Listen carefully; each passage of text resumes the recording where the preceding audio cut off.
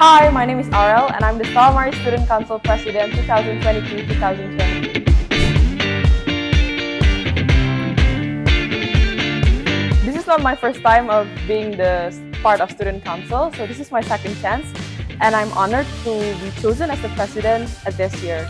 I like being in an organization alive and I'm grateful to be part of this organization. And there are two of the most memorable events that I like from uh, that I make.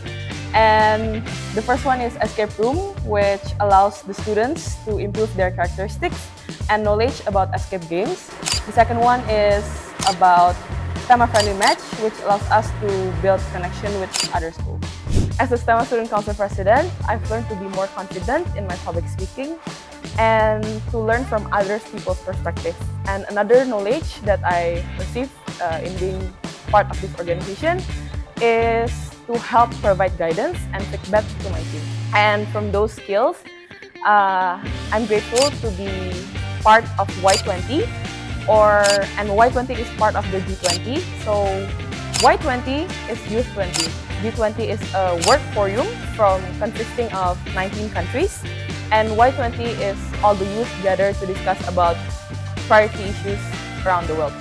And I'm grateful to talk about digital transformation, which uh, discovered about young people should improve the digital era, especially in Indonesia, to improve uh, this country digitally.